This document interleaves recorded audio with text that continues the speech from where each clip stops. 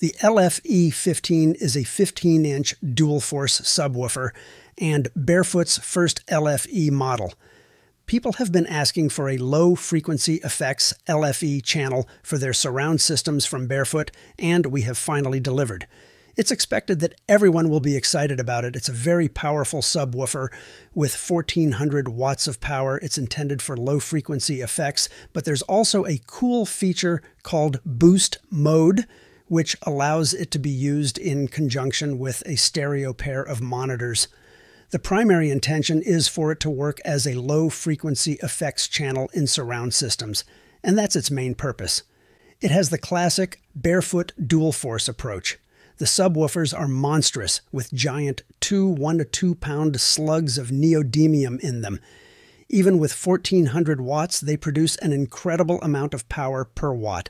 These are beasts they will shake the listener's guts in a normal sized room, which is quite satisfying.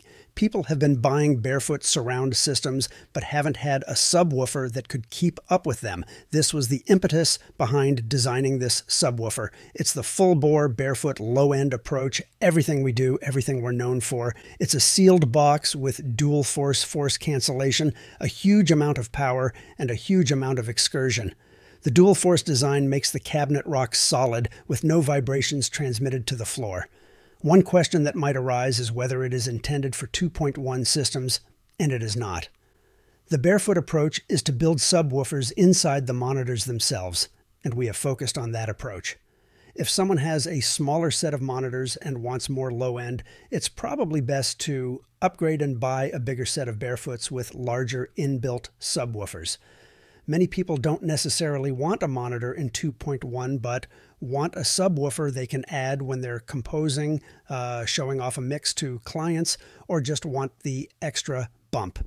The LFE15 has a feature called Boost Mode, which allows the user to add the subwoofer and have it fully sum with the stereo pair without any cancellation that typically happens with normal subwoofers using standard low pass filters. A chart can illustrate that effect.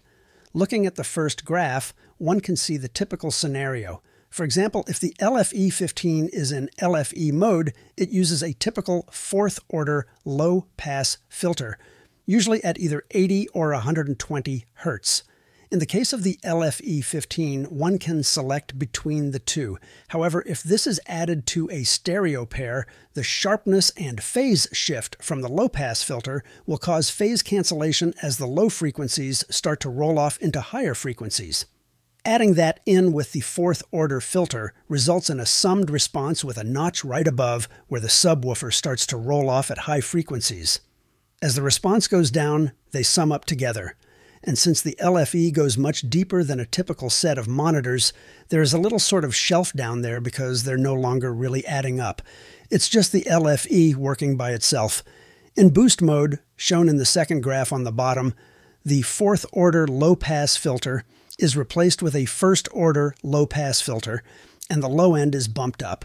One can see it's raised and has a sharper response down there. What happens with that first order filter is that it is minimum phase, so it integrates with the monitors without any cancellation.